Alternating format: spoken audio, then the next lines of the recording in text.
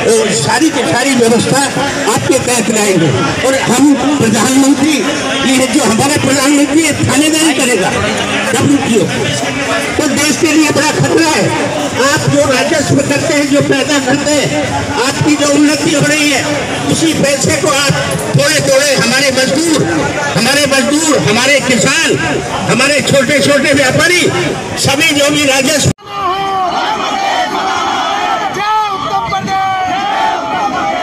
तो मैं आप लोगों से ये कहना चाहता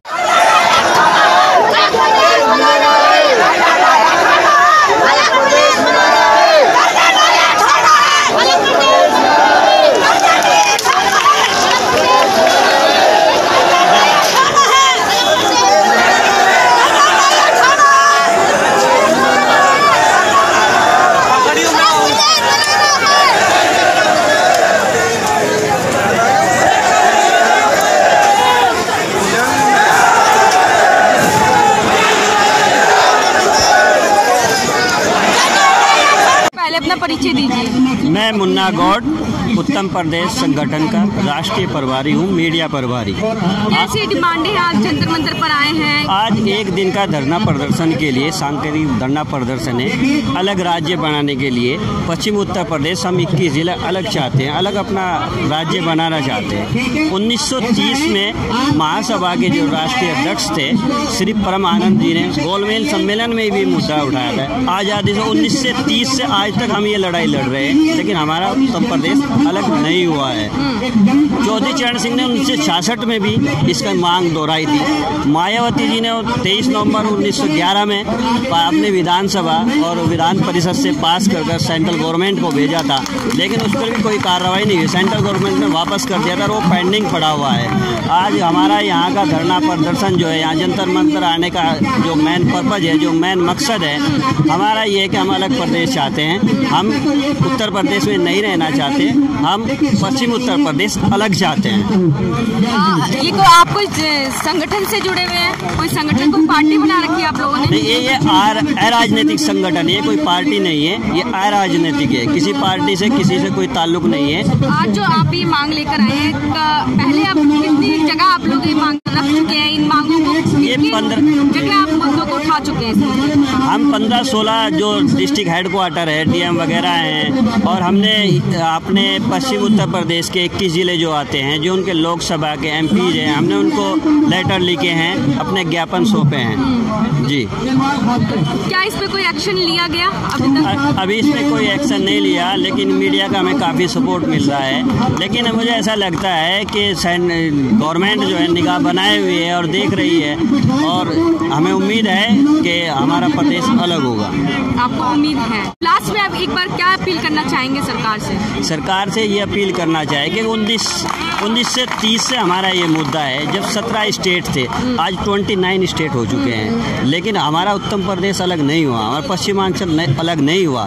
तेलंगाना चौदह में हो गया दो हज़ार में उत्तराखंड छत्तीसगढ़ ये सब अलग हो गए। लेकिन इसलिए अलग होने की मांग क्यों कर रहे हैं? क्योंकि हमारे हमारे हमारे से राजधानी जो है 700 किलोमीटर दूर है। हाई कोर्ट जो है, साढ़े आठ सौ किलोमीटर दूर है।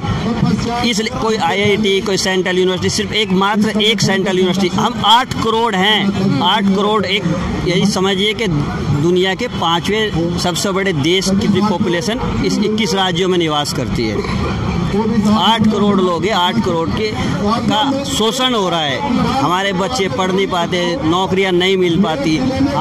दूसरे पूर्वी पूर्व पूरब के लोग जो हमारे स्टेट में इधर पोस्टेड होते हैं वो हमारी लैंग्वेज नहीं समझ पाते। लैंग्वेज प्रॉब्लम बहुत ज़्यादा रहती है और हमारी मांगे भी सरकार तक सही तरीके से नहीं पहुँच आज तक हमारा नेशनल 58 जो कि दिल्ली से उत्तराखंड को जोड़ता है वो भी कंप्लीट नहीं हो पाया 20 साल में। दिल्ली से मुजफ्फरनगर मात्र दो घंटे का रास्ता है, लेकिन हमको आठ घंटे, दस घंटे लग जाते हैं जाने में। हमारे पश्चिमी उत्तर प्रदेश की तरफ़ किसी भी गवर्नमेंट ने आज तक कोई काम नहीं किया। ना तो रेलवे ने किया है, रेलवे लाइन हमारी सिंगल है, अब जाके डबल हो रही है। कोई हमारे पास स्कूल नहीं है कोई यूनिवर्सिटी नहीं है कोई काम हमारे पश्चिमी उत्तर प्रदेश में नहीं है। कमाई हमारी है।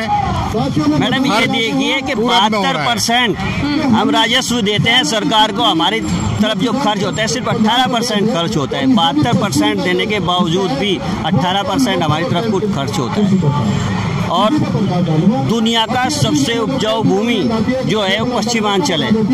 और कोई सुधार नहीं। ये देख के मुजफ्फरनगर मेरठ सहारनपुर ये चीनी का कटोरा कहा जाता है चीनी का कटोरा। उसका- पेमेंट नहीं है।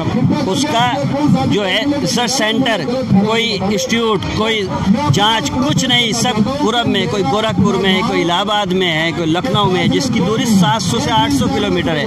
कैसे कोई किसान वहाँ जाके अपनी फ़सल का कोई ट्रीटमेंट कराए या कोई रिसर्च करे? कुछ नहीं है।